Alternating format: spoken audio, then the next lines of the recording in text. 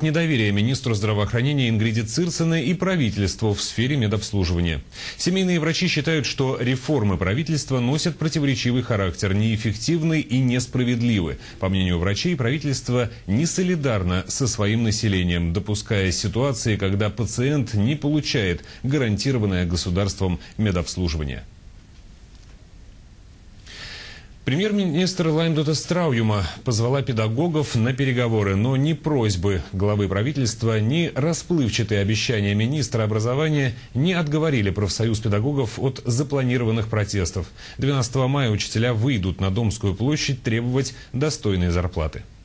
Незадолго до встречи представителей профсоюзов с премьером министр образования сделала ход конем и сообщила, что в стране может появиться пенсия по выслуге лет для педагогов младших классов, учителей физкультуры и специальных школ. Министр также сообщила, что готовится новая модель начисления зарплат педагогов. Возможно, но не факт, будет отменен принцип «деньги идут за школьником», из-за которого зарплаты сельских учителей мизерны.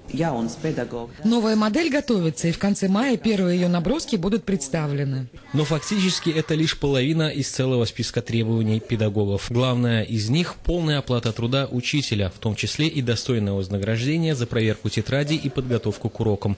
Профсоюз посчитал, что ежемесячно учитель перерабатывает на 340 евро, которые ему государство не платит.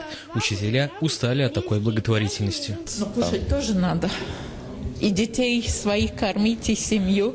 И потому у нас э, вообще в отрасли мужчин нету. Потому что надо семью, и жена требует, и дети требуют. Премьер Ламбеда Страуниума никаких обещаний на сегодняшней встрече не дала, поскольку работа над подготовкой бюджета следующего года и не начиналась. Соответственно, педагоги планы менять не будут и на митинг выйдут, хотя премьер считают такие выступления в нынешней международной обстановке угрозой безопасности. Мы это обговорили, и э, профсоюзы берет на себя ответственность за порядок. Просили перенести. Я просила. Я просила.